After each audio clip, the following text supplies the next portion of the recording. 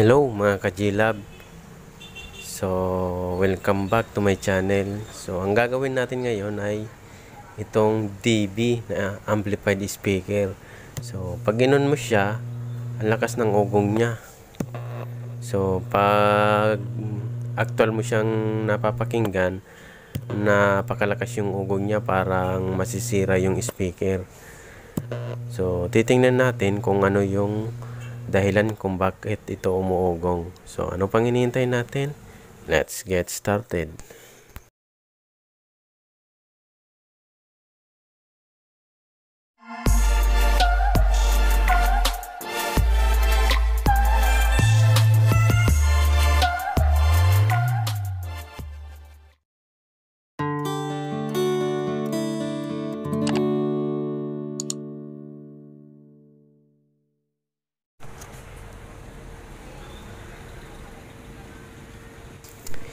Ito yung amplifier board niya. So, okay. Napakalinis pa naman. So, ito yung dalawang regulator niya. Yung 78 to at 79 to. So, yan naman yung module natin ng USB. Yung pinaka-module niya. So, ititrace natin kung bakit ito umuugong mga ka-G-Lab dyan ka-J-lovers natin. So, iti-trace natin to. So, una kong gagawin ay tatanggalin ko yung speaker kasi pag inon natin to, umuugong siya, baka masira yung speaker natin. Mag-voltage bias kasi tayo. So, tatanggalin ko lang muna tong isang linya ng wire ng speaker natin.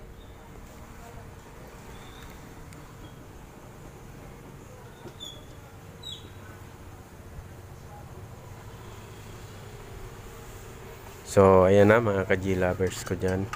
Tanggal na natin yung speaker natin, yung isang linya niya. So, magbo-voltage bias tayo. Nakasit na ako sa volt DC auto range. So, 0.2 volts yung unang output natin. Pangalawa, 0.2 volts din. Pangatlo, wait lang balikan natin mamaya yan. Point 2 yung pangatlo kanina. Hindi lang nakakontak na maigi. Point 2 din. So ibig sabihin mga ka-G-lovers okay yung ano natin dyan yung voltage biasing. So hindi na natin pagdududahan yung pinaka main amplifier circuit natin na nagpapalakas ng ugong So, good siya. Good siya. So, next natin, dahil walang supply yung module natin kanina, hindi umiilaw, gumagana, i-check natin yung dalawang regulator natin, yung linear regulator natin, yung dalawang 12 volts regulator, negative and positive. So, yan ang next natin. I-check mga ka-J-lovers ko dyan. So yan tinuturo ko. Yan dalawa na yan. So itong may heatsink na to, ito yung 781 to papunta yan sa tone control natin. Saka nung tiningnan ko yan kanina, siya rin nagsusupply ng module natin doon sa 7805 na regulator. Kaya may heatsink siya. Yung 78 ay 791 to naman, papuntang tone control lang. So, bale yung 78 1 to, dalawa ang sinusuplayan niya, yung tone control at yung USB module natin. So, kaya may heatsink siya. So, itong aayusin ko, itong ihang ko muna tong 78 1 to natin, pin number 3. Ihang natin yung output niya. Tapos iti-test natin kung may voltahe siya. Kasi parang kinakain yung supply nito galing sa module niya so dahil walang supply yung module so yan na nga nakahang ko na siya Dahil talaga Tapos ititest natin. Ka. So, magpo-promote lang muna ako ng aking channel, mga ka-G-lovers ko dyan. So, kung bago ka sa aking channel at hindi ka pa nakapag-subscribe, please subscribe. Impahit ng notification bell para sa mga bago natin update o bago natin upload, manotify ka ka-G-lovers. So, thank you very much.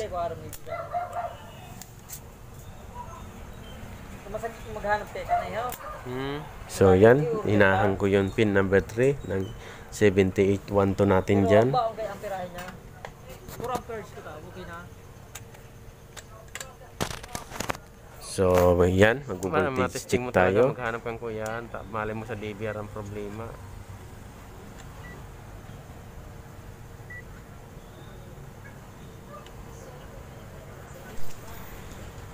Magbo-voltage check tayo dito sa dalawang regulator natin. Dito sa 7812 at 7912. So, dito sa 7812, meron tayo. So, meron lang siyang negative sign kasi yung red test prod ko naka-ground. So, naka-reverse lang. So, dito naman tayo sa 7912. So, okay. Meron siyang 12 volts negative.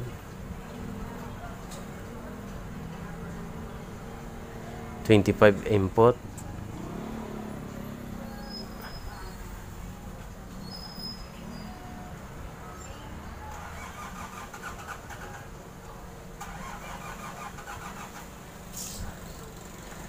So, nung chinecheck ko yung papuntang reader, wala naman nag-offset na voltage. So, ba't kaya ito umuugong?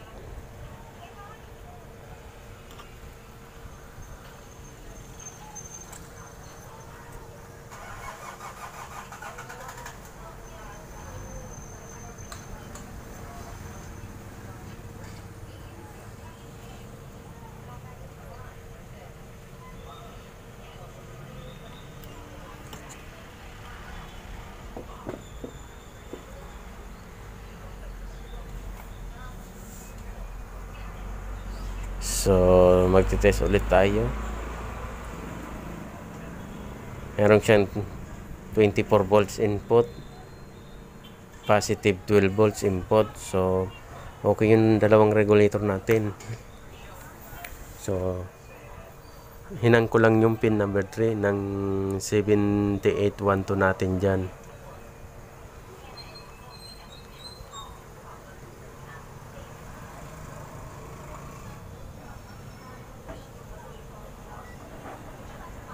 So, ibig sabihin, dahil good yung regulator natin, may posibilidad doon tayo mag check sa tone control o USB module. May posibilidad doon ang sira nito.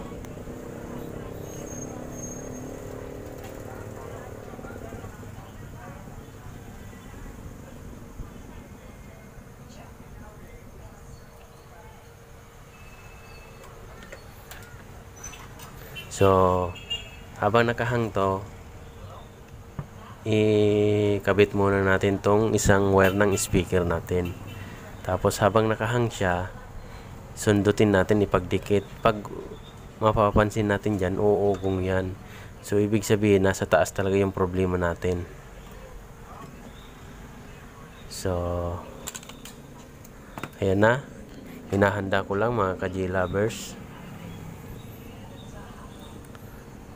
So, ititrace lang natin kung saan talaga yung pinaka main nasa larin nito mga ka-J lovers. So, sana meron kayong natututunan na guide kung paano natin tino-troubleshoot to. So, kita nyo, nakahang. Pag dinidikit ko to mga ka-J lovers, umuugong siya. So, ibig sabihin, papuntang tone control supply at USB module ang salarin natin dyan. So, ibig sabihin, good main amplifier circuit natin. So, hindi lang pala ang ogong dahilan ng sira ang amplifier o sira ang capacitor. Hindi lang dyan siya ang dahilan kaya umuugong. So, may posibilidad din nakakapaugong yung tone control natin kung may shorted dyan o may nagleaking na pisa, nakakapaugong din yan. At kung may shorted yung USB module natin, nakakapaugong din yan. So, ikabit na natin to mga ka lovers.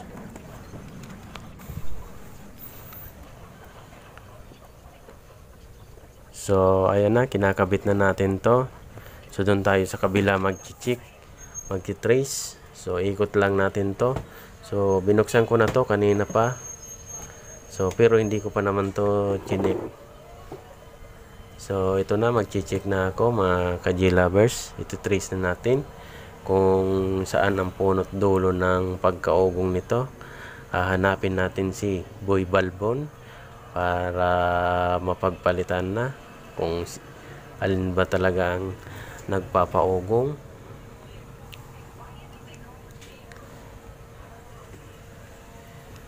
So, yung 781 to, nung pag-trace ko, connection niya, ito, papuntang dito, sa may regulator na 5 volts.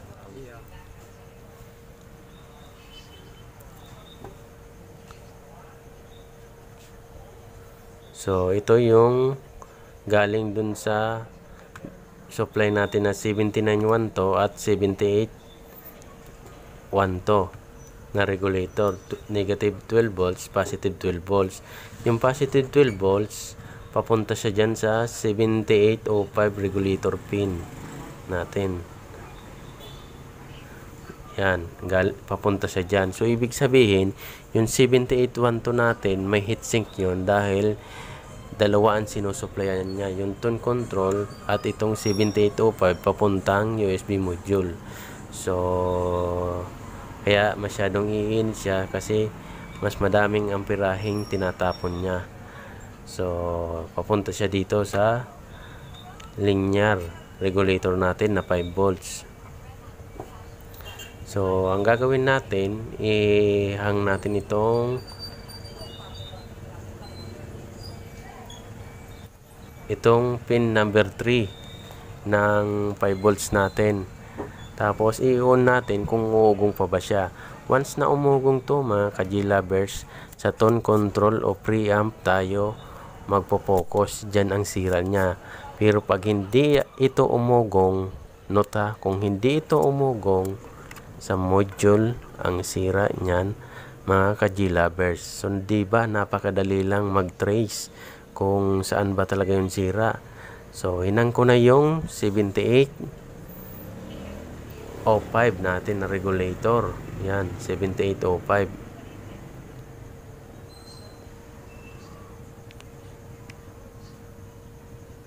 So, 5 volts yan. So, yung nagpapa-shoutout pala sa akin. So, bale sa next video na lang muna tayo mag-shoutout.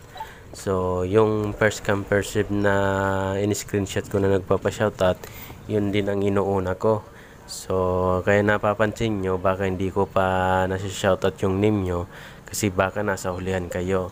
So, inuuna ko muna yung mga naunang nagpapa-shoutout. So, bale next next ano na ako magpa magsa-shoutout M- next video ko na.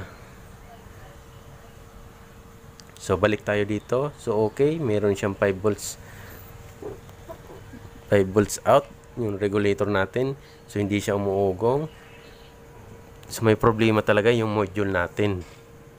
Nakuha na rin natin yung salarin. So, yan.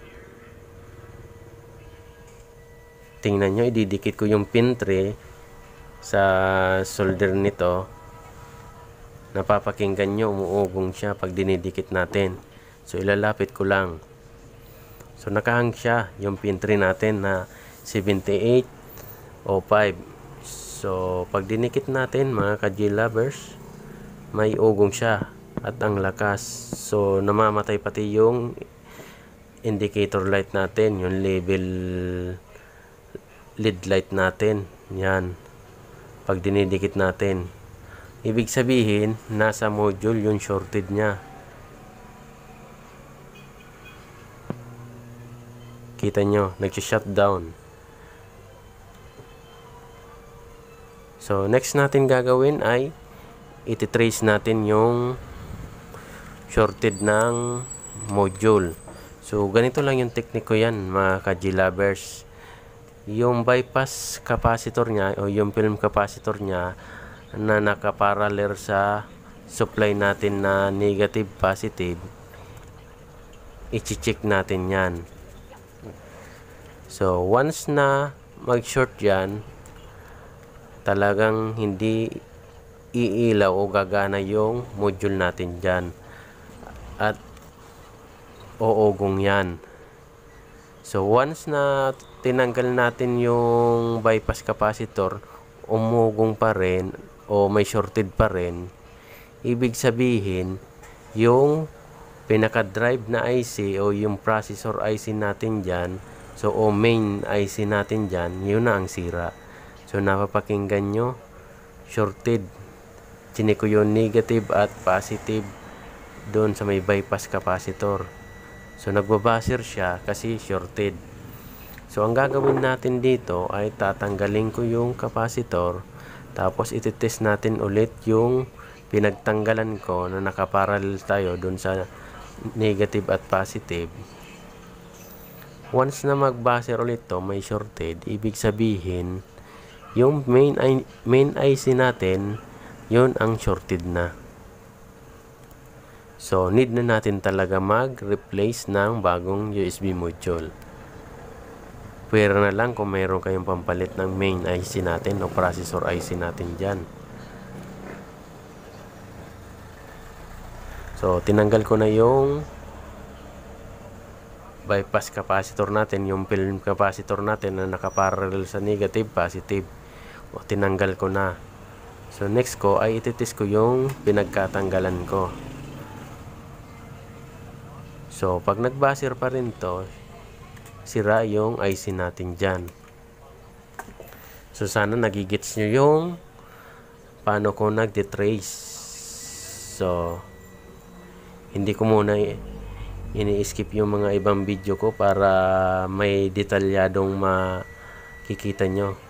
So, shorted talaga. So, ibig sabihin, sira yung main IC natin. So, need na natin magpalit ng USB module, mga ka-G-lovers.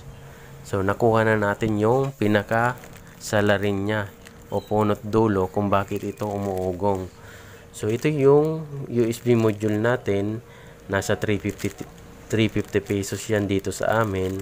So, meron na siyang, pwede mo na siyang kabitan ng USB, TF card, meron na rin siyang FM at Bluetooth player. So, meron na siya. So, almost lahat-lahat na meron na siya. So, ito yung luma niya, wala pa rin. Wala tong Bluetooth. Ang meron lang nito, aux, FM, at USB. So, ito yung old USB niya. USB module natin. So, supply niya, may 5 volts siya. So, in, in out na connection niya at antenna.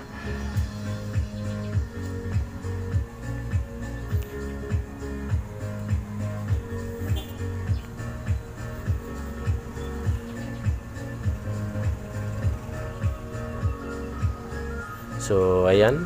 Nakikita nyo naman. So, papalitan na natin to mga ka-G-lovers. So, ito yung ipapalit natin mga ka-G-lovers. Itong bagong module ko. So, ang nakalagay dito sa kanya ay meron tayong power supply 5 to 12 volts. RCA jacks o auxiliary in at yung out na papuntang amplifier natin at antenna connection. So, kaya nasabi ko tong USB module natin 5 volts to 12 volts kasi pag tiningnan mo itong USB module natin na latest, meron na siyang naka-indicate na regulator na 5 volts. So, meron na siyang 7805. Yan, yung maliit na yon. Meron na siyang nakalagay na 7805. So, habang ini-speed ko muna to, fast forward, kasi magkakabit tayo ng bagong USB module. So, magpo-promote ako ng aking video. mga ka-G lovers, kung hindi ka pa nakapag-subscribe, please subscribe and pahit ng notification bell. At pahit na rin ng like button natin dyan. So, ito yung 7805 natin na regulator 5 volts. Tinanggal ko siya kasi ang plano ko nito ay i-12 volt settings ko kasi meron na siyang regulator na 5 volts yung USB module natin. So, para hindi mag-low voltage tayo. Kasi kung magpapantay tayo ng 5 volts to 5 volts, baka meron na tong magkakaroon na to ng voltage drop. So, may posibilidad magiging 4 volts na lang yung out ng regulator na nasa module. So, yan, ginam ko yung in and out. So, tinira ko lang yung gitna kasi ground dyan.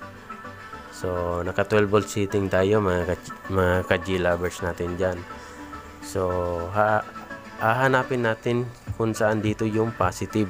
Kasi hindi tayo basta-basta maglalagay dyan o mag mm, tawag niyan, ipapasok yung connection natin dun sa USB module na hindi natin alam yung polarity. Baka kasi pag na-reverse natin yan, sunog ang regulator natin dyan. Yung 7805. So, ayan, na-trace ko na yung polarity.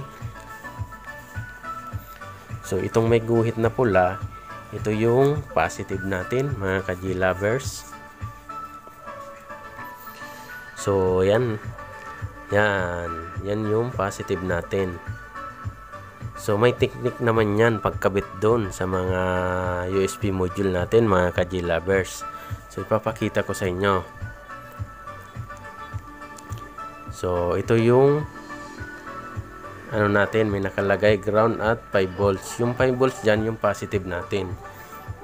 So, 12 volts ang ipapadaloy ko dito kasi may regulator na siyang nakalagay sa module. So, pag reverse ganyan mga ka-G lovers, mismatch, yung positive napunta sa negative at yung negative napunta sa positive, ganito lang yung trick niyan o technique mga ka-G lovers.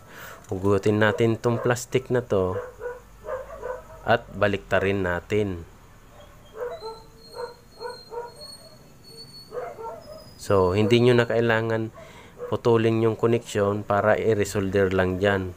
So, ganito lang yan, no. Hugutin nyo at baliktarin para maitama mo yung polarity. Pero kung tama na yung polarity mo, hindi mo na kailangan tong baliktarin. So, tandaan nyo yan, mga ka-G lovers. So, binaliktad ko lang kasi magkasalungat yung supply niya. So, ito na. Kinabit na natin. So, ayan na nga. Naikabit ko na mga ka-G lovers.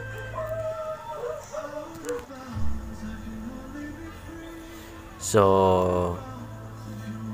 yan. Iniintak ko lang ng maigi para walang lost connection. So, ititest natin kung mag-power on na. Once na mag-power na on na to, ikakabit na natin yung ibang mga wire connection.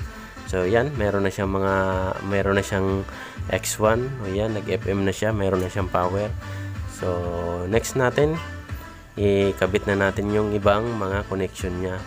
So, ipapass forward ko ulit mga ka-G lovers natin dyan. So, ito na. Habang nagpa-pass forward tayo. So, mga ka-J lovers, pahit ng like button natin dyan kung nagustuhan nyo yung video nyo, ay video ko. So, kung hindi ka pa rin nakapag-subscribe, pahit rin ng notification bell at subscribe button natin. So, yan. Thank you very much mga ka-J lovers. So, ito na. Naikabit ko na. Ipa-power on na natin.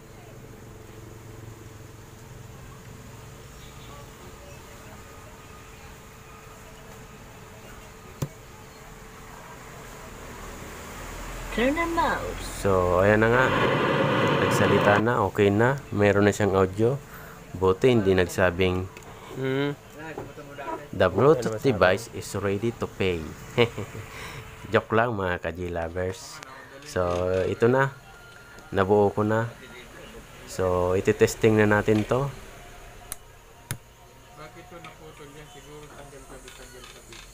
So, yan. Mukhang hindi binasa yung USB ko. hindi nakasalpak na maigi. So, re- replug in natin. Play by USB drive. So, ayan na. Tumunok na mga kaji lovers. So, ayan na. Okay na yung sound niya. Tumugtog na yung favorite NCA sound ko. So, thank you very much mga kaji lovers. So, maraming salamat.